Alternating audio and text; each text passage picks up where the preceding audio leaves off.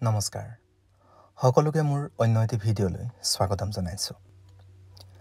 আমি যেতিয়া দম্পতীসকলক গৰ্ভনিৰোধক বা কণ্ট্ৰাচেপশ্যনৰ বিষয়ে সজাগ কৰোঁ তেতিয়া তেওঁলোকৰ ভিতৰৰ সৰহ সংখ্যকৰ পৰাই এটা বিশেষ প্ৰশ্নৰ সন্মুখীন হওঁ।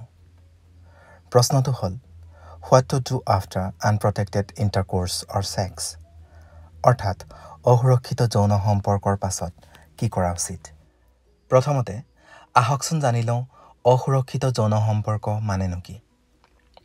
অসুৰক্ষিত যৌন সম্পৰ্ক মানে হ'ল কোনো ধৰণৰ গৰ্ভনিৰোধক তথা কণ্ডম ব্যৱহাৰ নকৰাকৈ কৰা যৌন সম্পৰ্ক অসুৰক্ষিত যৌন সম্পৰ্কৰ পাছত মন কৰিব লগা দুটা প্ৰধান কথা হ'ল অনাকাংক্ষিত গৰ্ভধাৰণ অৰ্থাৎ আনৱান্টেড প্ৰেগনেঞ্চি আৰু যৌন সংক্ৰমিত ৰোগ অৰ্থাৎ ছেক্সুৱেলি ট্ৰেন্সমিটেড ডিজিজ অসুৰক্ষিত যৌন সম্পৰ্কৰ পাছত দেখা দিয়া প্ৰথম অসুবিধা হ'ল অনাকাংক্ষিত গৰ্ভধাৰণ বা আনৱান্টেড প্ৰেগনেঞ্চি অসুৰক্ষিত যৌন সম্পৰ্ক হ'লে বা কণ্ডম ব্যৱহাৰ কৰাৰ পাছতো কণ্ডম ফাটিলে বা শ্লিপ হ'লে সদায় গৰ্ভধাৰণৰ আকাংক্ষা থাকিয়েই যায়।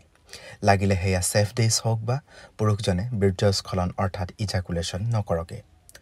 মনত ৰখা ভাল যে যদিও ছেফ ডেইজত গৰ্ভধাৰণৰ আকাংক্ষা কম হয় তথাপিও একেবাৰে যে নহ'ব তাৰ কোনো মানে নাই।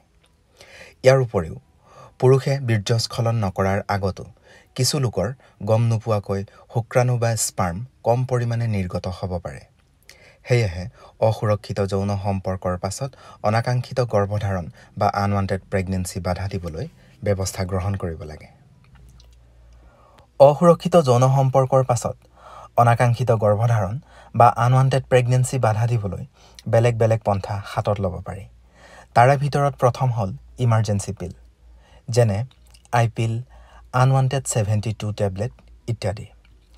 এই টেবলেট অসুৰক্ষিত যৌন সম্পৰ্ক বা আনপ্ৰটেক্টেড ইণ্টাৰক'ৰ্ছৰ বাসত্তৰ ঘণ্টাৰ ভিতৰত গ্ৰহণ কৰি অনাকাংক্ষিত গৰ্ভধাৰণ বা আনৱান্টেড প্ৰেগনেঞ্চি বাধা দিব পাৰি। অৱশ্যে যৌন সম্পৰ্কৰ পাছত যিমান সোনকালে এই টেবলেট লোৱা হয় সিমান ইয়াৰ ফলাফল ভাল হয়। এই ইমাৰ্জেঞ্চি পিল অৰ্থাৎ আনৱান্টেড ছেভেণ্টি টু টেবলেট গ্ৰহণ কৰাৰ পাছত সাধাৰণতে তিনিৰ পৰা সাত দিনৰ ভিতৰত ব্লিডিং হয়। আৰু এই ব্লিডিং সাধাৰণ মাহেকীয়াৰ দৰে তিনিৰ পৰা পাঁচ দিনৰ ভিতৰত ভাল হৈ যায়। এই টেবলেট গ্ৰহণ কৰিলে তলপেটৰ বিষ মাথা বিষ মূৰ ঘূৰণি বমি ভাৱ আদি ছাইড এফেক্ট হ'ব পাৰে। সামান্য পৰিমাণে এই ছাইড এফেক্ট হ'লে সময়ৰ লগে লগে একো ঔষধ ব্যৱহাৰ নকৰাকৈ ভাল হৈ যায়। কিন্তু যিকোনো ছাইড এফেক্ট সহ্যৰ বাহিৰত হ'লে ততালিকে চিকিৎসকৰ পৰামৰ্শ গ্ৰহণ কৰা উচিত। অন্যহাতে অসুৰক্ষিত যৌন সম্পৰ্কৰ পাছত অনাকাংক্ষিত গৰ্ভধাৰণ বাধা দিবলৈ আই ইউ চি ডি অৰ্থাৎ ইণ্ট্ৰা ইউটেৰাইন কণ্ট্ৰাচেপ্টিভ ডিভাইচ বা কপাৰটি ব্যৱহাৰ কৰিব পাৰি। এই কপাৰটিয়ে পাঁচৰ পৰা দহ বছৰলৈকে গৰ্ভধাৰণ বাধা দিয়াৰ উপৰিও অসুৰক্ষিত যৌন সম্পৰ্কৰ পাঁচ দিনৰ ভিতৰত লগালে অনাকাংক্ষিত গৰ্ভধাৰণো বাধা দিয়ে।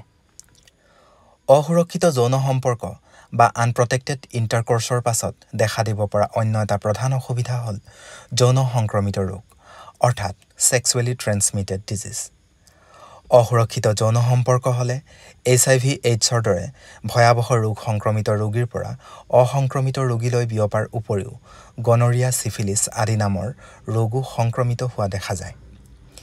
এই যৌন সংক্ৰমিত ৰোগৰ পৰা বাচি থকাৰ একমাত্ৰ উপায় হ'ল কণ্ডম ব্যৱহাৰ কৰা। কণ্ডমৰ বাহিৰে অন্য কোনো গৰ্ভনিৰোধকে এই যৌন সংক্ৰমিত ৰোগ অৰ্থাৎ ছেক্সুৱেলি ট্ৰেন্সমিটেড ডিজিজ বাধা দিব নোৱাৰে। অৱশ্যে অসুৰক্ষিত যৌন সম্পৰ্ক বা আনপ্ৰটেক্টেড ইণ্টাৰক'ৰ্ছ হৈ যোৱাৰ পাছত যৌন সংক্ৰমিত ৰোগ অৰ্থাৎ ছেক্সুৱেলি ট্ৰেন্সমিটেড ডিজিজ বাধা দিয়াটো গৰ্ভধাৰণ বাধা দিয়াৰ সমান সহজ নহয়।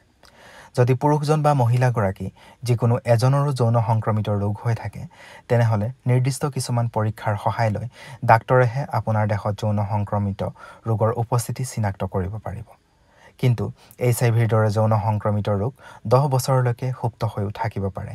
সেয়েহে এনে ভয়াৱহ ৰোগৰ পৰা বাচি থাকিবলৈ কণ্ডম ব্যৱহাৰ কৰক। এনেধৰণৰ আৰু অধিক ভিডিঅ'ৰ বাবে আমাৰ ভিডিঅ'টি লাইক কমেণ্ট আৰু শ্বেয়াৰ কৰিব আৰু আমাৰ চেনেল আছাম ৱেলনেছ ছাবস্ক্ৰাইব কৰিব। ধন্যবাদ।